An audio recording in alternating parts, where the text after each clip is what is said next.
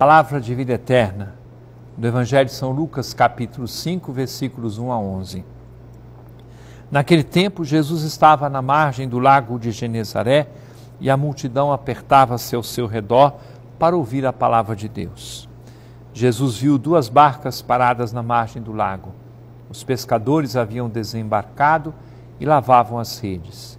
Subindo numa das barcas, que era de Simão, pediu que se afastasse um pouco da margem. Depois, sentou-se e da barca ensinava as multidões. Quando acabou de falar, disse a Simão: Avança para águas mais profundas, lançai vossas redes para a pesca.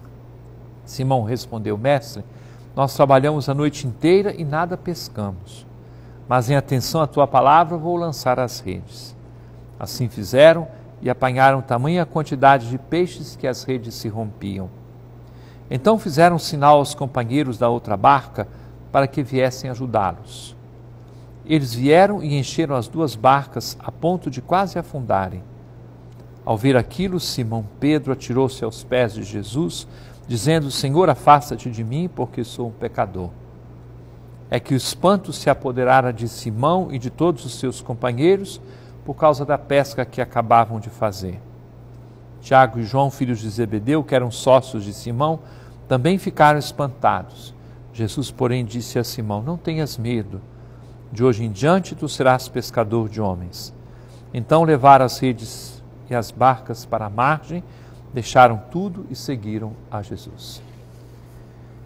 Caríssimo irmão, caríssima, de, caríssima irmã, quando você participar da Santa Missa de hoje, encontrará três histórias de vocações. A primeira do profeta Isaías, no capítulo 6 do livro deste profeta. Depois, referências à vocação de Paulo, no capítulo 15 da primeira carta aos Coríntios, e aqui uma das narrativas da vocação de Pedro, no capítulo 5 do Evangelho de São Lucas.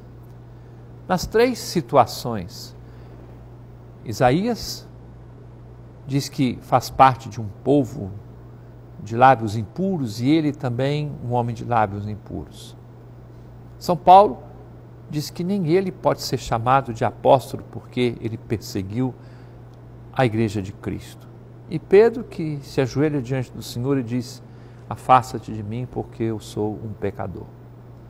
Todas as vezes que autenticamente um homem ou uma mulher fazem a experiência da presença de Deus, é sempre um confronto da graça com a miséria. É sempre uma maravilha que as pessoas experimentam diante da graça de Deus. É a luz que ilumina a escuridão ou as trevas nas quais podemos nós estar mergulhados. É uma bela provocação que a palavra de Deus nos faz no dia de hoje. Algumas consequências. Primeiro, cada um de nós se abra para essa experiência de Deus que ilumina toda a nossa existência e vai até os recônditos mais secretos da nossa própria alma para iluminar. Deus vem, ilumina, esclarece, melhora, mostra o caminho.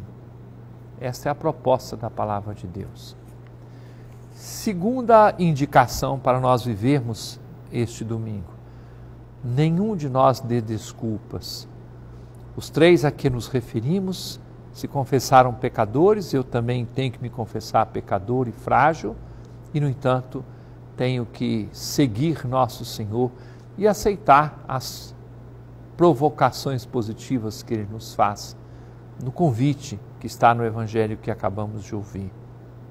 Ele faz de Pedro, dos seus discípulos, cada um de nós na sua medida, mas também nós somos chamados a ser pescadores, não de peixes, mas pescar as pessoas para o reino de Deus, com a nossa palavra e o nosso testemunho.